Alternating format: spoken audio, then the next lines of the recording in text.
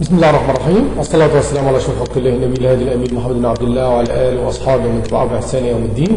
يسر قناة ترى النجار التعليمية تستقبل مع حضراتكم سلسلة شروحاتها المتميزة في لغة ال HTML اليوم هو الدرس رقم 11 هندرس الجزء الثاني من النماذج وإحنا عارفين أهميتها بالنسبة لتصميم صفحات الويب لأنها عامل مهم جدا على نجاحه لأنها بتعمل تواصل ما بين صاحب الموقع والموقع والزائرين. اليوم هنستكمل مع بعض سلسلة ما بدأناه هنكمل هنتدرب على استخدامات قيم الخاصية type بالنسبة للكود input وبعد ذلك هنتعرض إلى استخدام الكود اللي هو ال option اللي هو خاص بالاختيار المتعدد أو ال code text area دايما وابدا بنسعد بارائكم ومشاركاتكم على قناتكم وقناتنا على اليوتيوب قناه التعليمية.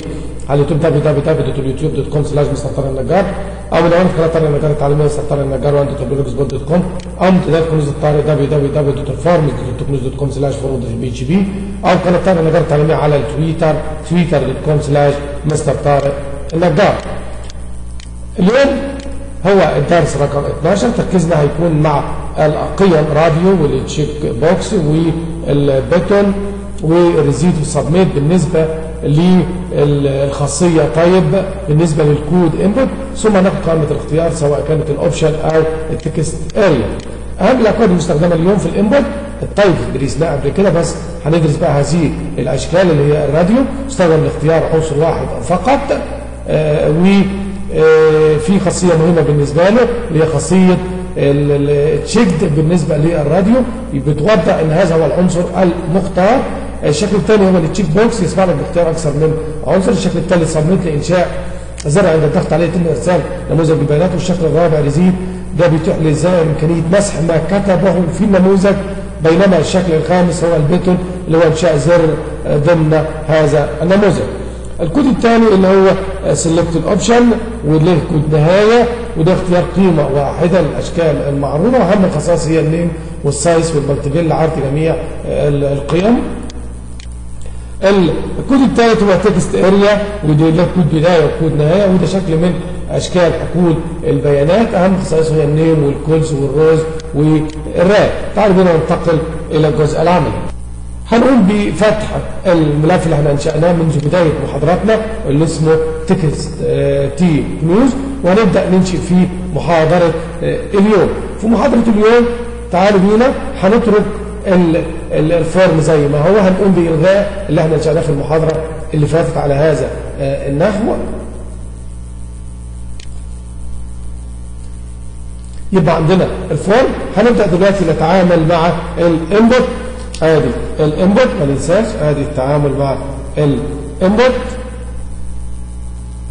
وبعدين مسافة هناخد الخاصية طيب وبعدين يساوي القيمة اللي هناخدها اليوم هي الراديو على هذا النحو. يبقى هذه هي الايه؟ القيمة. طيب أنا عايز أنشئ أربعة راديو أربعة راديو. الراديو ده من خلالهم بيتيح لك إنك تختار اختيار واحد فقط. هنقول مثلا هل الطالب ده حصل على تقدير إيه؟ إيه التقدير اللي حصل؟ هل امتياز جيد جدا؟ مقبول جيد؟ وهكذا. يبقى كان ممكن إنك تسبق هذه العبارة بهذا السؤال على أساس إنك تقدر تستوضح هذه الجزئية. يبقى تعالوا بينا كده نشوف كده مع بعض. هقوم بكتابة السؤال في البداية أنا اهوت هقول ما تقديرك. إيه هو تقديرك؟ التقدير أنت حصلت عليه ثم بعد ذلك ادي ال input. طيب هنكتب هنا هنا إيه مثلا؟ امتياز. امتياز. بعد ما تكتب امتياز لازم تنتقل إلى سطر جديد يبقى نستخدم ال BR على هذا النحو. ثم نبدأ نقول بتكرار هذا الكود عن طريق ادي النسخ واللزق امتياز جيد جدا جيد مقبول وهكذا. اهوت وانتر ونخليها بس وليكن مثلا ثلاثة امتياز. هنا هو جيد جدا. تأكد إنك فضل اللغة العربية. جيد جدا. هنا هو جيد. ادي جيد. وادي الكود بتاع الإغلاق. تعالوا بينا نحفظ ونشوف الأثر على ذلك بالنسبة للصفحة اللي أنا قمت بإنشائها. هذه هي الصفحة. هضغط مفتاح F5 ما تقديرك. امتياز جيد جدا. جيد. آه عايز شوية إيه؟ تعديل. إيه هي؟ هاجي بعد ما تقديرك دهوت. ما تقديرك. وتعمل إيه؟ تضيف. الأول تكون فاتحه لغه انجليزيه تضيف BR سطر جديد. ادي BR وتغلقه ويبقى بهذا الشكل من ال file save. ونعمل إعادة تحميل إعادة تحديث يبقى ما تقديرك جيد جدا امتياز أنت لما بتختار أي قيمة نشوف المفترض لما تختار أي قيمة تنفي اختيار آه الأخرى. دي يبقى إيه؟ الراديو. هنا ملاحظة مهمة جدا إنك أنت لما تقوم بعرض الصفحة اللي قمت بتصميمها اعرضها من أكثر من متصفح. هنا بنعرضها من خلال ال Firefox. آه وهنا بنعرضها من خلال Internet Explorer لو في Internet Explorer ظهرت قدامنا اهوت لما تختار اختيار ينفي اختيار الاختيارات الثانية يبقى جيد. لا يمكن تختار اثنين في نفس اللحظة. بينما إنها ممكن تعمل بعض المشاكل مع ال Firefox أهوت اخترنا ده. شوف كده بدأ يختار الكل. لذا حاول إنك تجرب في أكتر من متصفح. طيب ده بالنسبة لإيه؟ بالنسبة للقيمة راديو بالنسبة لطيب. طب هنكمل برضو بعض الخصائص اللي إحنا بنضيفها اللي هي بالنسبة لطيب بيساوي راديو. هنضيف النيم. والنيم ديت للتسمية ويفضل ويفضل طالما أنت بتتعامل مع الراديو إن يكون الاسم واحد. سميه زي ما أنت عايز يبقى نيم بيساوي عشان عملية البرمجة عشان عملية استقبال البيانات. لما توصلك البيانات لما بيكون في عنوان للبيان هيكون هناك تمييز المتصفح هيقدر من خلاله يميزه. هنسميه وليكن مثلا الاختيار مثلا واحد. تمام؟ ثم بعد ذلك نبدأ ننقل التسمية للبقية وبيكون الاسم واحد يا شباب. أهو آدي. ال name بيساوي وليكن واحد. على هذا الوضع آدي ال name بيساوي القيمة واحد. يبقى ده اللي هيوصلك انت. مش هيظهر أثناء التنفيذ لكن هيوصل لك تقرير بيه ده بالنسبة لخاصية name ممكن نتكلم على خاصية ال value اللي هي القيمة اللي هتظهر على إيه؟ القيمة الافتراضية. القيمة الافتراضية هنخليها هنا أهوت. آدي ال value آدي ال value بيساوي ونقول مثلا excellent بالنسبة للامتياز. ننزل تحت أسفل. ال value آدي ال value ده القيمة الافتراضية. ال value بيساوي آه بيساوي very good ثم آدي الثالث واحدة ال value آدي ال value بيساوي good لأن ده نص. بنقوم بعملية الحفظ. ثم بعد ذلك نضغط على مفتاح F5 ضغط هذا البرنامج. أهو زي ما إحنا شايفين. يبقى هي ديت القيمة اللي هتظهر في عملية الايه البرمجة طيب. ديت اللي هي ال value تعالوا بينا ننتقل إلى خاصية آه قيمة أخرى. الخاصية الجديدة اللي هنضيفها داخل ال input هي خاصية ديت آه بنستخدمها آه مع النوع راديو اللي هي checked يبقى هي الخاصية يا شباب أو هي الخاصية اسمها checked C H E C K E D يعني مختار. ونحفظ؟ ونحفظ يبقى ده يكون الاختيار الايه؟ الافتراضي اهو. ونضغط مفتاح F 5 هنلاحظوا ان أصبحت القيمة الافتراضية هي اللي تم اختيارها عن طريق check يبقى check يعني تم اختيارها بس ناخد بالنا إن ده تقدر من خلاله زي ما إحنا شايفين كده تقدر تغير أهو. نبدأ نختار. يبقى ال check هنا بصفة افتراضية.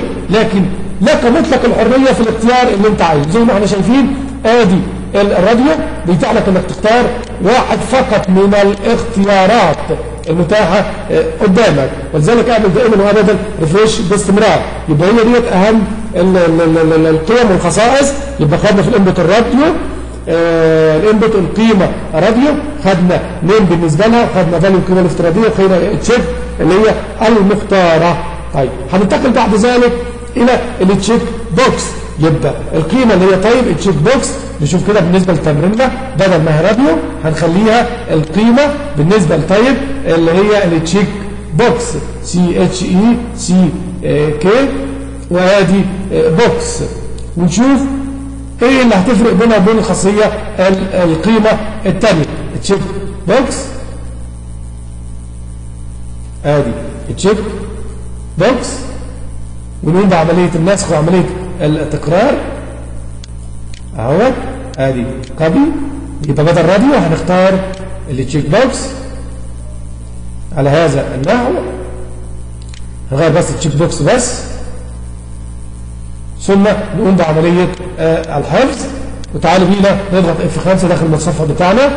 هلاحظ إن الشكل اتغير. ال check box بتاعلك انك تختار أكتر من واحد أو تلغي اختياراتك يبقى دي وظيفة الايه ال check box مع برضه القيم name للتسمية و value اللي هي القيمة الافتراضية والقيمة الافتراضية هنا بنحطها له بالنسبة ليس مقارنة سيئه جدا ما بين ال radio وال check box ال radio أنت بتاعلك إنك تختار اختيار واحد فقط. أسماء الحقول تكون موحدة والقيم مختلفة. أما ال check box فبيمكنك أنك تختار أكثر من اختيار أو جميع الاختيارات. وأسماء الحقول اللي هي name name بالنسبة لل check box يا شباب بتكون مختلفة. يبقى إذا لو أنت هتخليه كله check box يبقى هتغير. name هنا واحد تسميه هنا اثنين تسميه هنا ثلاثة مهم جدا الجزئية ديت بالنسبة للفرق ما بين ال check box وال radio. وعندها الخاصية الأخرى اللي هي التشيك دي يعني المختار ده المختار يعني بصفة افتراضية بصفة افتراضية. تقدر إنك أنت تلغي هذا الاختيار أو تختار واحد واثنين وثلاثة وأربعة أو تختار جميع الاختيارات. هنتقل بعد ذلك على اللي هي ال select تعالوا بينا كده نشوف ال select كده مع بعض. يبقى هي ده الكود التالي اللي هو كود آدي. select select ده الكود بيتكتب select ثم بعد ذلك بنقول له آدي ال option ال option على هذا النحو ونكتب القيم جنبه وليكن مثلا هنا منتدى كنوز الطارق ثم نضغط enter ونعمل option جديد option جديد اهوت ونكتب مدونة قناة طارق. بنعمل option كمان ثالث حسب الاختيار.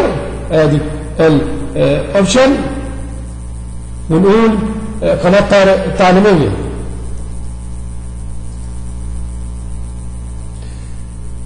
خلصنا ال option بهذا النحو. لازم زي ما بدأت ب select لازم تغلق ال select آدي إغلاق ال select نغلق ال select يبقى بدأت بال select تغلق ال select ال option كود وحيد. ثم تعالوا بينا نقول حفظ ونشوف رد الفعل على المثال الخاص بينا عن طريق الضغط على F5 هلاحظ اهوت إن ال option ده عامل إيه يا شباب؟ أنشأ لك combo box. الناس اللي برنامج الفيجوال بيسك أنشأ combo box. لما أضغط على ال combo box تقدر تختار العنصر اللي أنت عايزه. يبقى ال select option ده أتاح لك إنك تنشئ combo box عبارة عن هذا الزر أهوت. تضغط عليه تنسدل منه قائمة فرعية تختار منه الاختيار المناسب. يبقى دي وظيفة ال select مع ال option طيب هناك خصائص عايزين نضيفها. زي إيه؟ زي مثلا ال name. الخاصية ال name بنضيفها بالنسبة لل select يبقى عند select دوت هنضيف خاصية ال name. التسمية مهمة يا شباب. بتقوم بعملية التسمية. سمي زي ما أنت عايز. أهوت.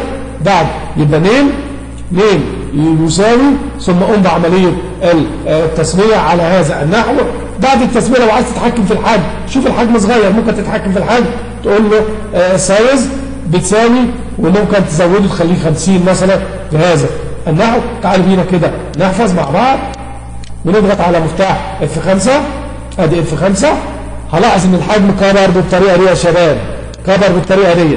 طيب يبقى أنت تبدأ تتحكم فيه بدل ما هو 50 ممكن تخليه خمسة بس مثلا ونشوف لازم نجرب وننفذ ونعرض من خلال أكتر من متصفح ثم اضغط مفتاح F5 هيبقى الحجم بالطريقة دي.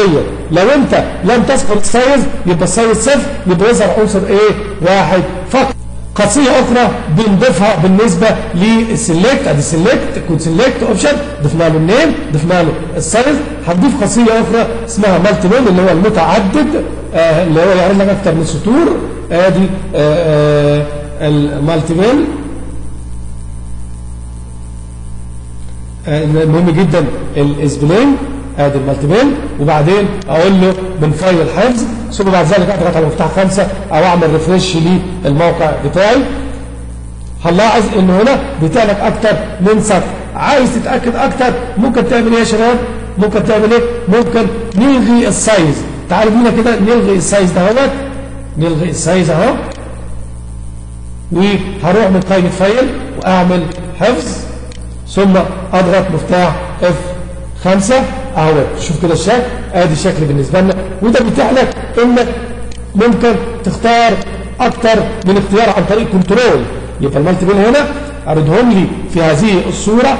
سمح لك إنك تقوم باختيار واحد واثنين وثلاثة وأربعة عن طريق التحديد والضغط على control وبالنسبة للكود اللي هو option هنقدر نضيف له خاصية ال name للتسمية يبقى دي الخاصية اللي هنستخدمها مع هذا الكود.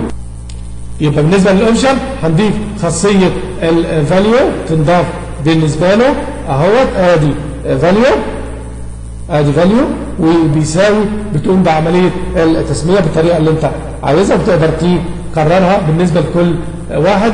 وهنلاحظ إن بالنسبة لل option هنلاحظ إيه؟ اختلاف القيمة بالنسبة للاوبشن الأولاني والاوبشن الثاني والاوبشن الثالث والاوبشن الرابع وهكذا. ده بالنسبة لل select الجزئية الجديدة اللي هناخدها مع بعض اللي هي واحد من أشكال حقول البيانات وهو text text area text area اللي من خلالها تقدر تكتب أو تتاح لك إنك تسجل كمية كبيرة من البيانات مع بعض الخصائص نشوف كده عملية الكود الخاص. زي ما إحنا شايفين كتبنا مع بعض الكود الجديد اللي هو text area مسافة ثم كتبنا اسم لهذا الكود سميناها تعليقات وبعدين كتبنا عبارة تظهر في محتويات وقلنا بإغلاقه. طيب هنروح من file وأعمل save ثم أضغط مفتاح F5 هنلاحظ ظهور بهذا النحو تقدر تكتب التعليقات اللي أنت عايزها وبيسمح لك بكتابة كمية كبيرة من البيانات وبنلاحظ ان اشرطة التمرير الافقية والرأسية تبدأ تظهر معاك. طيب البعض هيقول لي هيقول لي حاجة تانية. طب إحنا عايزين نتحكم في عدد الصفوف الموجودة فيه أو عدد الأعمدة أو أي حاجة من دول. هنعمل إيه؟ هقول له okay في موجود أمامنا مجموعة من الخصائص بالنسبة آه لل text area زي ال cols ادي ال cols اللي هي عدد الأعمدة و وليكن هنقول إنها مثلا آه 30 على هذا النحو وال rows اللي هي عدد الصفوف نخليها مثلا آه خمسة. ثم تعالوا إحنا دلوقتي مع text area text area area الخواص اللي هي النيم النيم والكولز والرو هروح من file أعمل حفظ. ثم بعد ذلك أضغط على مفتاح F5 ونشوف البيانات اهو. هو ديت يا شباب العدد اهو. لو انت حبيت انت عملت كام صف تبدأ تعدهم أنا عملت خمسة. ادي واحد اثنين ثلاثة اربعة خمسة. اهو بنفس الطريقة. على هذا النحو التسلسل يبقى قدرنا نتحكم في الارتفاع الخاص به وبالعرض هذه الأداة.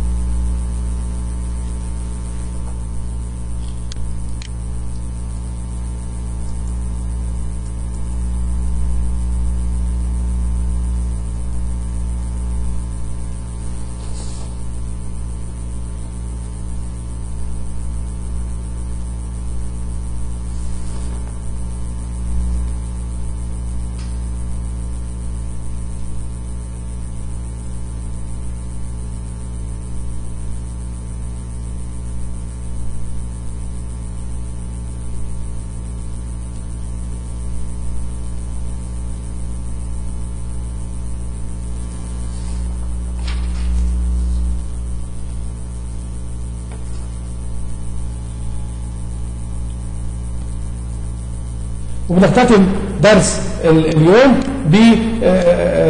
بأشياء تابعة إلى الكود input. عايزين نتكلم على ال submit عايزين نتكلم على ال reset عايزين نتكلم على ال button اهو بس الكلام ده كله داخل نطاق إيه؟ داخل نطاق ال form. نتابع كده يا شباب. قمت بإنشاء دلوقتي داخل ال form داخل ال form ال input. أدي ال input. النوع بتاعها submit القيمة بتاعتها إرسال. يبقى أنا دلوقتي هيكون عندي زر مكتوب عليه إرسال إرسال إيه؟ إرسال التعليقات اللي قمت بكتابتها إلى البريد الالكتروني الموجود في آه، ال form في الإعلان عن ال form. طيب لو كان النوع reset كتبت قيمة مثلا لو كان النوع button كتبت فتح لأن النوع آه، button هيقوم بإنشاء زر أنا ضغطت عليه فتح كتبت العبارة العنوان ال label الخاص بيه فتح. reset اللي هي مثلا. ثم تعالى بعد ذلك من قائمة file. هنعمل. save. ثم نضغط على مفتاح F 5 للتنشيط.